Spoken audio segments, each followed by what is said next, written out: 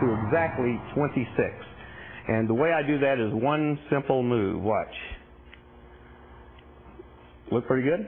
this is what it looks like in slow motion.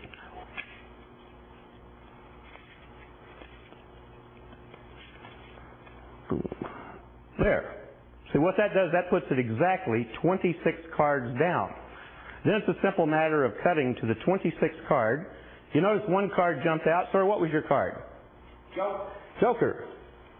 No. I didn't say it worked all the time. It did that time. Okay, uh, you, sir, what was your card?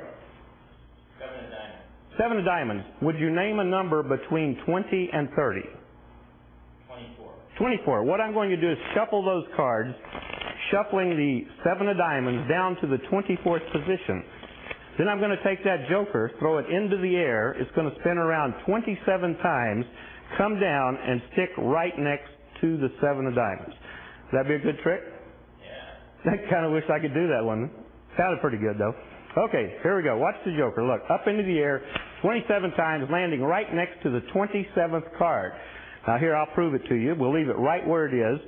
There's 1, 2, 3, 4, 5, 6, 7, 8, 9, 10, 17, this is 22, 23, 24, 25, 26, 27, right there. Now I'm going to leave it exactly where it is. We're going to cut it right there. Now had it gone one card lower, we would have got this king, or one card higher, we would have got the two. In fact, we could have got any one of those cards in that shuffle deck. And finally, to make sure, what was your card, sir? Seven of diamonds. Seven of diamonds. Whoa, that's close enough. Okay, now uh, we're moving now. Sir, what was your card?